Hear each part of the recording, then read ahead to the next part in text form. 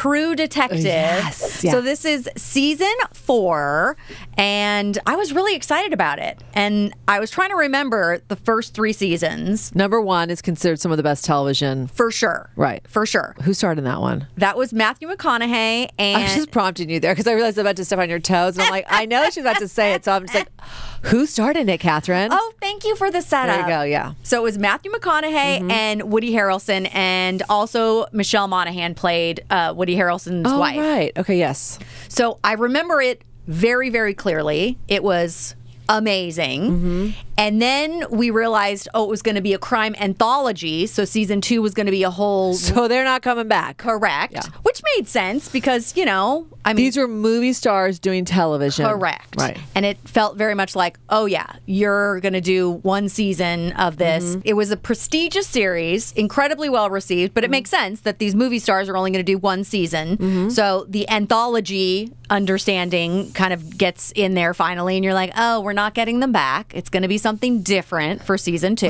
They went through the ringer on that one. Yeah. I mean, they needed a hiatus themselves. That was yeah. like all of the X Files compiled into one season, and these two characters. It was real rough for them. It was like, yeah, I don't want them back. I don't want that crime back. I don't want anything back No. from that season. Although they were really interesting characters. So, of course, we would have been like, yeah, sure. It's what you call um, complex. yeah.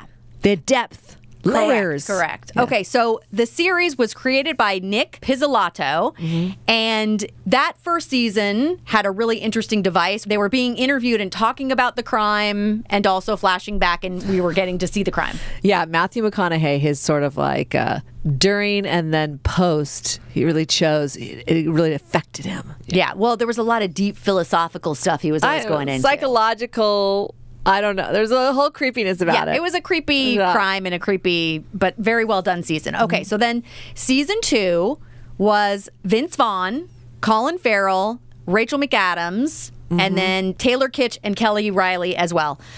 But I don't know if people didn't love it as much. I think they were just annoyed that Uh, it was like what? Oh, John. Here's the deal. It's the only season you need to watch. oh, that's a Rachel McAdams Wait a thing. minute. Yeah. Uh, no, I watched it. It's about season two. Yeah. Okay. All right. Uh, so, but then I realized as this season four was happening, I had no memory at all of season three. yeah, when you said four seasons, I was like, what am I not don't- remembering? yeah, I don't know if I watched it. It was Mahershala Ali and Stephen Dorff. I don't remember I didn't it. watch it. Yeah. Okay. I I'm think drawing I a com- did, but I, I mean, because I'm like, yes, I like Stephen Dorff, so I'm like, I And Mahershala Ali is amazing. Uh, yes. So, but I don't know. Somehow I I did watch it. I remember nothing about it. Yeah, okay. Well, anyway, okay, so now on to the very exciting return with season four. And there's enough time in between. These are not on a streaming platform, so they're not bingeable. You are having to wait week to week, which kind of builds up anticipation, I think. well, they are available on Max, but again, only one episode Yeah. per week, that format, mm-hmm. because it's HBO. So, all right. So this season, season four, Jodie Foster. When the first promos came out, I was so excited. I was Yes. like, "What? Jodie Foster's so amazing!" I was. she only yeah. does prestigious projects. Well, good for her. And she likes to be a detective on a real weirdo. Oh, Silence of the Lambs. Yes. Well, okay. yeah. Okay. I mean, that's an interesting Parallel, connection. way Yeah. back, Ed, way back. Okay. Okay, so she is playing a looks like a sheriff or something like that in this small Alaskan Oh town. Oh my What, God, I would die. Obviously, she is a police officer because the other person is not with APD or what. It's like something PD, and it's like you're not with PD. Alaska PD. Oh yeah, she's a like Anchorage a patrol PD. officer. Okay, so John is referring to Atlanta PD. What PD was it? Does any of us know? it's got to be Alaska, right? Or um, yes, for sure. I mean, fictitious town oh, Ennis. looks so cold and Oh, awful. of course. It's so funny because I just was watching A Murder at the End of the World, which was Oh, well, I brought up again. I, It's so cold, and then I- this I- one also cold, and Fargo also cold. It's all these cold, cold, snowy landscapes. But this had a supernatural element to it as well. But it's sort of leaning into what is the indigenous belief in Mother Nature and the spirit world. Yeah, it is kind of surprising because that first episode, I was like, oh, wait, are we saying something mysteriously magical might be happening? I mean, we're going to see how it plays out because we're still in progress right now. The unexplained. But yeah, that's kind of uh, not normally what they do in True Detective. In the first three seasons, there wasn't like Yes, a magical y- element. y- yes, there was a supernatural element. what?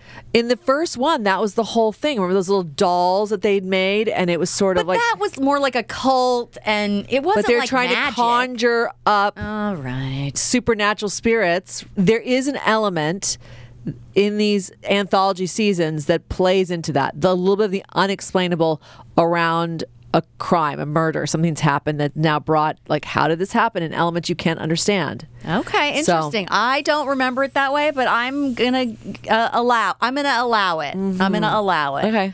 Okay. So co-starring with Jodie Foster is this amazing young woman. Yeah. Her name is Kali Reis, and when I first saw her just moving, I was like, "Oh my god, is she like an MMA fighter? What is her deal?" Physically very Yes. present, intimidating. Yeah, she's kind of just not big, but like in incredible shape and holds herself in a way that you're mm-hmm. like, oh, there's something going on. Yeah, she's a boxer, which, you know, other people might have known. I did not know this. Right. So uh, it makes sense. She has this physicality. Mm-hmm. And what I love about this setup is that her character and Jodie Foster's character, they have a history and they don't really get along. So they're in the middle of trying to figure out this interesting crime and they're having their own problems. Well, they're very strong personalities, and mm-hmm. Jodie Foster is not the most warm and cuddly. No. a woman of this age brings a depth to a character. Listen, she wears it right on her face, but at the same time, when she delivers a line or gives a look, like,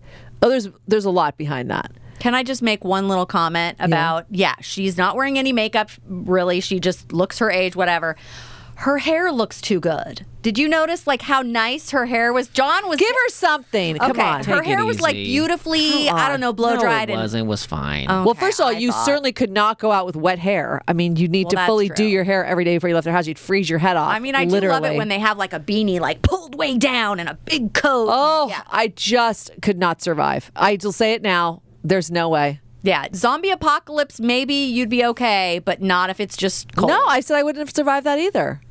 I don't really think. I mean, survivalist skills and times, no matter how they come, I think I'm fucked. Well. so the only one recently was the one on Netflix that we just did. We even talk about that one, the Julia Roberts one. We did. Okay, I don't think we did. it's on Netflix. It's the Julia Roberts movie. It's only it's been out like maybe a month. Leave the world behind. Leave the world behind.